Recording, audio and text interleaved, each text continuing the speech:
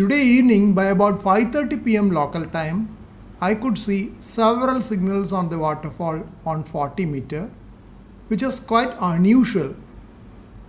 In the morning hours, 40 meter band is busy with several local nets and ragchews.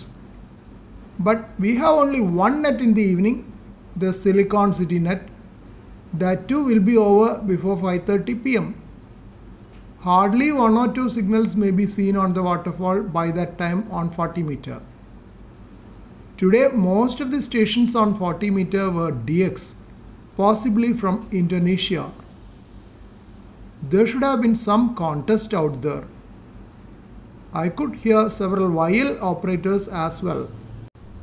Check 20 meter, which is usually active at that time, with several long distance view stations. It was the same today also, with 10 signals on the waterfall on 20 meter, some even 59 plus 20 dB. Moved on to 15 meter, which also showed a few signals on the waterfall. Seemed like Indonesian stations operating contests. There were YL operators there as well.